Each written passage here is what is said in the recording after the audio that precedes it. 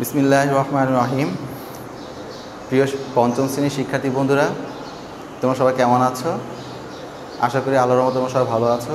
আমিও আল্লাহর মতো ভালো আছি। আমি এম এ মাজিদ, তোমাদের পঞ্চম শ্রেণির বাংলাদেশ বিশ্ব পরিচয় ক্লাস নিয়ে আজকে উপস্থিত হয়েছি। আজকে আমি তোমাদের পাঠ্য বইয়ের অধ্যায় তিন, বাংলাদেশের ঐতিহাসিক স্থান এবং নিদর্শন সম্পর্কে আলোকপাত করব। বন্ধুরা,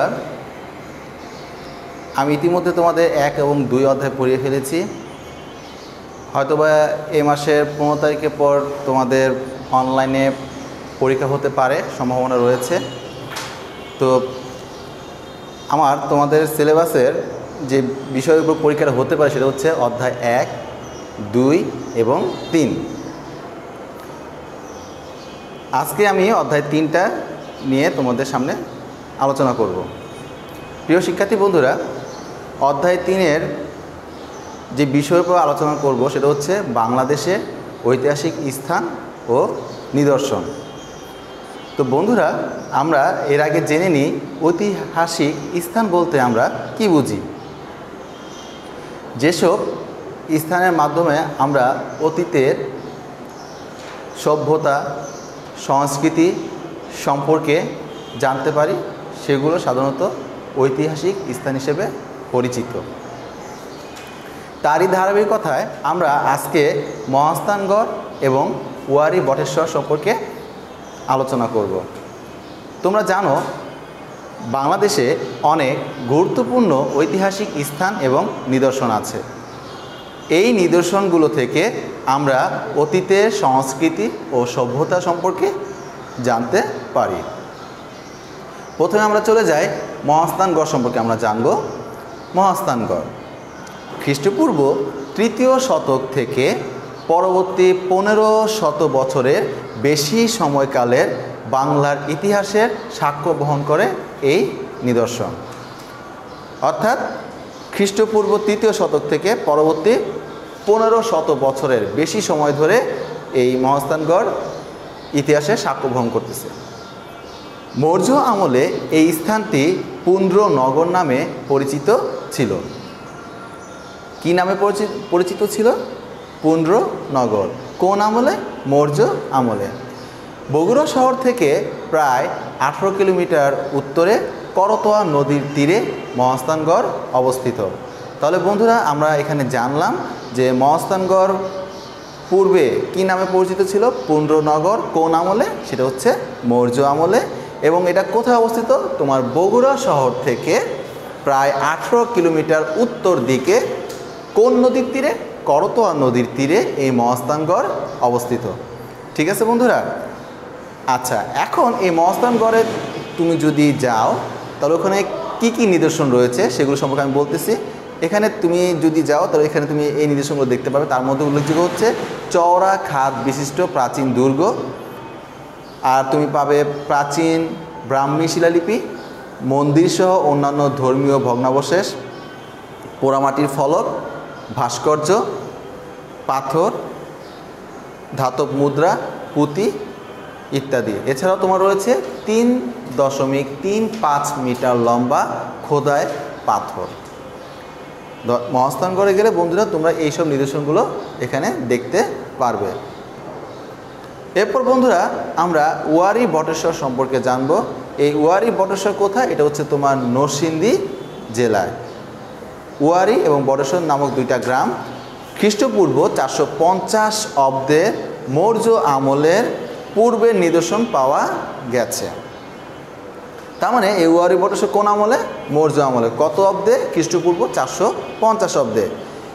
এই সভ্যতাটি তোমার সমুদ্র বাণিজ্যের সাথে সম্পর্কিত ছিল। অর্থাৎ ওখানে জলপথে যোগাযোগ ব্যবস্থা ভালো ছিল বিধায়, তাই এটা, এই সভ্যতাটি তোমার সমুদ্রের বাণিজ্যের সাথে সম্পর্কিত।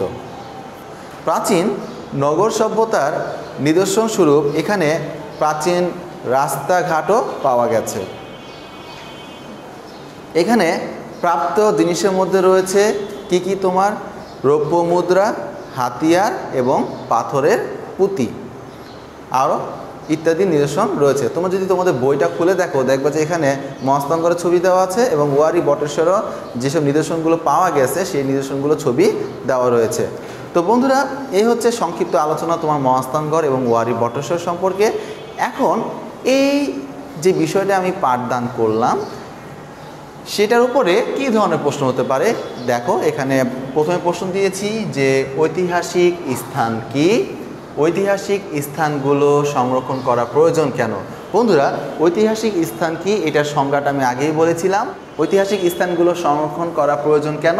যদি আমরা অতীতের ইতিহাস, সভ্যতা এবং সংস্কৃতি সম্পর্কে জানতে চাই, এ কারণে অবশ্যই কি আমার ঐতিহাসিক স্থানগুলো সংরক্ষণ করা প্রয়োজন? ঠিক আছে বন্ধুরা? এরপর দেখো ঐতিহাসিক স্থানগুলো সংরক্ষণের চারটি উপায়। কীভাবে আমরা এগুলো সংরক্ষণ করতে পারি? তোমরা একটু খেয়াল করে দেখো বন্ধুরা, আমি বোর্ডের মধ্যে লিখে দিয়েছি, তোমাদের যেহেতু বইতে নাই, যাতে তোমাদের তথ্য পেতে সুবিধা হয়, এ কারণে উল্লেখ করে দিয়েছি। প্রথমে লিখেছি যে প্রয়োজনীয় সংস্কার বা মেরামত করা। আমরা প্রয়োজনীয়ভাবে কী করতে পারি? সংস্কার করতে পারি বা মেরামত করতে পারি। দ্বিতীয় হচ্ছে পরিষ্কার, পরিচ্ছন্ন রাখতে পারি। আর হচ্ছে কি, যথাযথভাবে রক্ষণাবেক্ষণ করা। আর কেউ যেন এইসব স্থান নষ্ট করতে না পারে, সেজন্য প্রয়োজনীয় ব্যবস্থা গ্রহণ করা। ঠিক আছে বন্ধুরা? আচ্ছা এই ঐতিহাসিক স্থানগুলো পরিদর্শন কেন করব? কি কারণে করব? তোমার পরীক্ষায় তোমার প্রশ্ন আসতে পারে যে ঐতিহাসিক নিদর্শন পরিদর্শনের কারণ লিখো, পাঁচটি কারণ লিখো বা চারটি কারণ লিখো। দেখো, আমি কিছু উল্লেখ করে দিয়েছি এখানে। এক হচ্ছে এইগুলো কেন পরিদর্শন করব? এটার মাধ্যমে আমরা অতীতের সভ্যতা ও সংস্কৃতি সম্পর্কে জানা যায়। দ্বিতীয়ত হচ্ছে তোমার প্রাচীন সভ্যতা বিলুপ্ত হওয়ার কারণ জানা যায়। এই নিদর্শনগুলোর পরিদর্শনের মাধ্যমে আমরা কি এই সভ্যতা কেন বিলুপ্ত হয়েছে এর কারণ আমরা জানতে পারব। আর কি হবে? এতে শিক্ষক এবং শিক্ষার্থীদের জ্ঞানের প্রসার ঘটে। চতুর্থত দিয়েছি দেখো পর্যটকরা এসব স্থানে ভ্রমণ করে আনন্দের পাশাপাশি অনেক কিছু শিখতে পারেন। আর সর্বশেষ রয়েছে তোমার গবেষকরা ঐতিহাসিক স্থান পরিদর্শন করে তথ্য সংগ্রহ করতে পারেন। ঠিক আছে বন্ধুরা? তাহলে আমরা এখানে কিন্তু জানলাম যে ঐতিহাসিক স্থানগুলো সংরক্ষণের উপায় আর ঐতিহাসিক নিদর্শন পরিদর্শনের কারণ। এরপর বন্ধুরা, দ্বিতীয় যে প্রশ্ন হতে পারে, আমি যে আজকে যে বিষয়টা পড়ালাম, সেখান থেকে হতে পারে, যেমন ধরো, দুই নম্বর প্রশ্ন দিয়েছি যে ওয়ারি বটস্বরে কোন আমলের নিদর্শন পাওয়া গেছে? কোন আমলে বন্ধুরা হতে পারে বলো তো? সেটা হচ্ছে তোমার মৌর্য আমলের নিদর্শন পাওয়া গেছে। এই স্থানটি বাণিজ্যের সাথে সম্পর্কিত ছিল কেন? কারণ এখানে জলপথে যোগাযোগ ব্যবস্থা ভালো ছিল। এ কারণে এটা বাণিজ্যের সাথে সম্পর্কিত ছিল।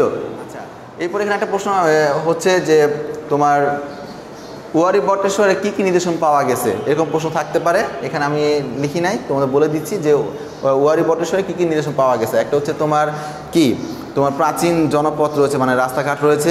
দ্বিতীয়ত কি রয়েছে? তোমার হাতিয়ার, তারপর কি? পাথরের পুঁতি এবং কি? রৌপ্য মুদ্রা পাওয়া গেছে। এসব নিদর্শন রয়েছে ওয়ারি বটেশ্বরে। আর তোমার এখানে একটা প্রশ্ন হতে পারে যে ওয়ারি বটেশ্বর কোন জেলায়? এটা হচ্ছে তোমার নরসিংদী জেলায়। তিন নম্বর প্রশ্ন হচ্ছে যে মৌর্য আমলে মহাস্থানগড় কি নামে পরিচিত ছিল? তোমার ইতিমধ্যে উত্তরটা জানো সেটার না, কী নাম ছিল? পুন্ড্র নগর এরপর প্রশ্ন ছিল, বন্ধুরা, এটি গুরুত্বপূর্ণ কেন? কারণ এটা এই কারণে গুরুত্বপূর্ণ, এখানে খ্রিস্টপূর্ব তৃতীয় শতক থেকে পরবর্তী পনেরো শত বছরের বেশি সময়কাল এখানে নিদর্শন পাওয়া গেছে বা ইতিহাসের সাক্ষ্য বহন করে। এই কারণে এটা খুবই গুরুত্বপূর্ণ। এরপর বন্ধুরা, প্রশ্ন হচ্ছে যে মহস্তানগড়ে প্রাপ্ত চারটি নিদর্শনের নাম লেখো। চারটি নিদর্শন কী বলছিলাম? তোমার এক নম্বর হচ্ছে চওড়া, খাদ বিশিষ্ট, প্রাচীন দুর্গ।